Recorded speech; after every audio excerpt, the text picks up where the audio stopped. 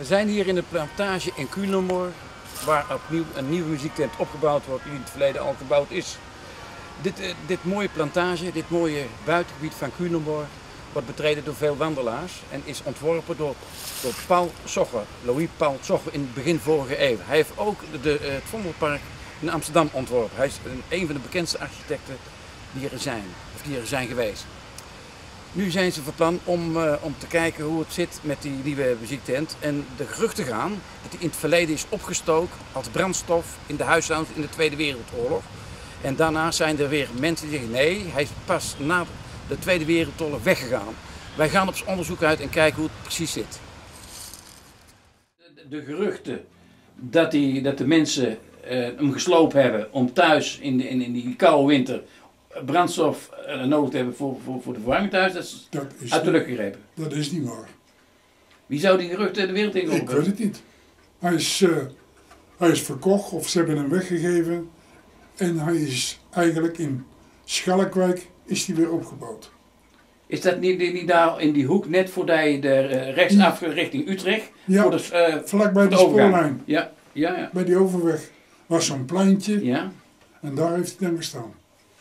En hoe was de akoestiek dan? Hadden ze last van wind of zo? Of, of, of met spelen of uh, telde dat niet mee? Nou, dat was meestal, eh, als het te slecht was, dan werd er niet gespeeld. Maar je had aan de achterkant, je kan het hier nog zien, hij dichte schotten, weet je wel. Ja, ja. En komen die er nou weer, voor zover u weet? Dat weet ik niet. Oh. Zal wel. Maar dit lijkt me ook wel 7,5 of 8 meter hoogstens.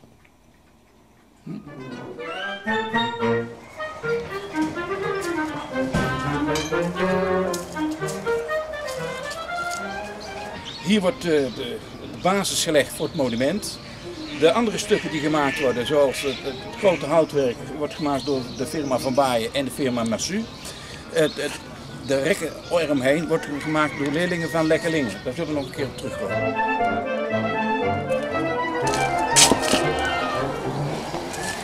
Hallo, wat zijn de werkzaamheden die jullie hier gaan verrichten of zijn aan het verrichten? Vandaag gaan we de profielen stellen voor de metselaar. Dat maandag eh, de metselaar eh, de borstwering kan, kan metselen. En eh, proberen de hijskraan overeind te zetten. Met z'n tweeën? Ja.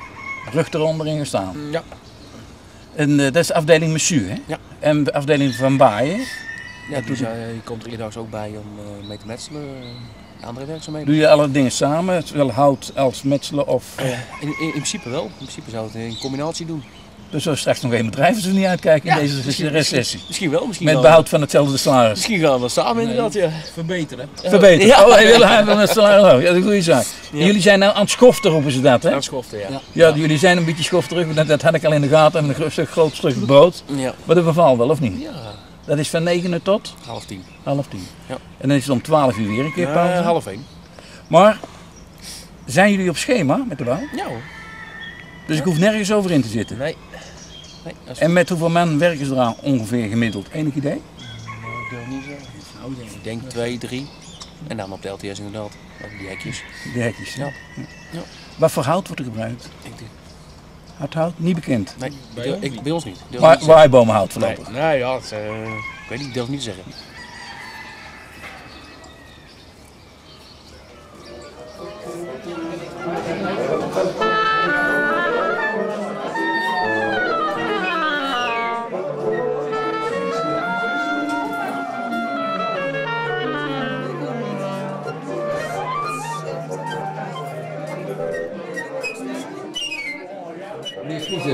Bij de Koninklijke, Koninklijke Harmonie Pietrafisch. Een toporkest eigenlijk van Culemborg, samen met eh, andere verenigingen. Maar in Culemborg komt een muziektent. Een open een muziektent in een plantage. Dat is een, eh, een, ge- een gebouw eigenlijk dat helemaal open is. Daar kan muziek gemaakt worden. Maar dan is de vraag, eh, wat vindt u ervan? Het overvalt me een beetje. Eh, ik kan me nog herinneren dat de meeste tenten in de meeste plaatsen allemaal zijn gesloopt. En hier in Culemborg zetten ze het weer op poten. Dat kan heel leuk zijn natuurlijk, maar het is wel van belang om nog eens even de... Ja goed, er heeft niemand naar mij gevraagd of dat nou wel een goed systeem is. En of dat wel op de goede plaats staat. Want je moet natuurlijk wel rekening houden dat als zo'n tent helemaal open is.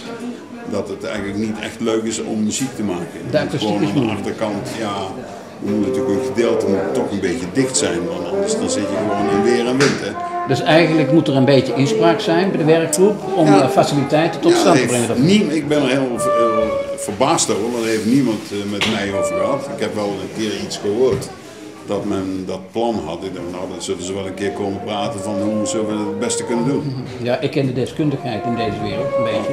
Ik ben ook lid geweest van de Koninklijke Academie Petrafisch Oh ja. En toen heb ik er met Mario over gehad. Ik zei, joh, eh, hoe ver zijn jullie benaderd? Wat weten jullie? Want er zijn nog meer eh, dingen die facilitair zijn- moeten zijn. Zoals, eh, eh, ik denk dat er eh, licht- nutbedrijven plaats moeten nemen daar, toiletten. Ik, ik noem maar wat, dat je daar met, een- met, met een orkest bezig zou zijn. Dat had ook nodig moeten gebeuren. En licht. En licht, Licht, gas en waterleiding. licht is heel belangrijk. Is het bestuur eh, ook officieel benaderd door, door de werkgroep? Nou, eh, het bestuur is wel benaderd door de werkgroep. En we hebben dus met diverse verenigingen hier ook eh, vergaderd erover, over deze muziektent. Dat wel, maar alleen eigenlijk over de invulling, niet over de bouw. Dus het, eh, ons is de vraag gesteld, wel, hoe staan jullie er tegenover en is dat in te vullen? Nou, hebben wij dus gezegd van, eh, ja, er kan altijd ingevuld worden, maar als het een muziektent wordt zoals die vroeger was, dan kan bij ons net het slagwerk erop en de rest zal ervoor moeten gaan zitten. Dus de rest past niet, want zo groot was die muziektent niet.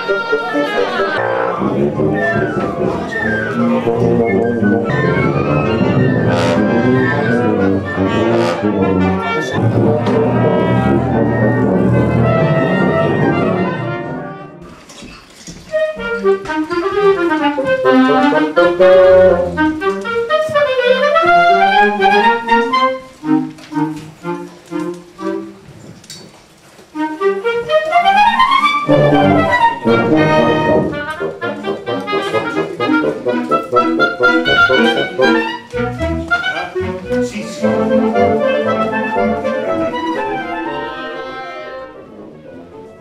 is die. Dat zijn de tekeningen, laten kijken. Eens kijken. Zelf getekend? Nee, eh, die jongen van Jammersuur heeft getekend. Die, eh die werkvoorbereider zitten. En die heeft aan de hand van de foto is die de hele boel aan het uitvogelen gegaan om te kijken hoe dat het... eh, En wordt er dan ook verzameld eh, met de firma samen of dat de tekening weer klopt of dat er veranderingen aangebracht moeten worden? Of... Nou, er is wel eh een, een overleg geweest met, met alle betrokken partijen, dus ook mensen van de gemeente van, en van de stichting Plantage. Die dus het initiatief hebben genomen om de muziektent weer in de plantage terug te krijgen. Wat is precies het aandeel van de firma Van Baaien in eh, de bouw van deze tent?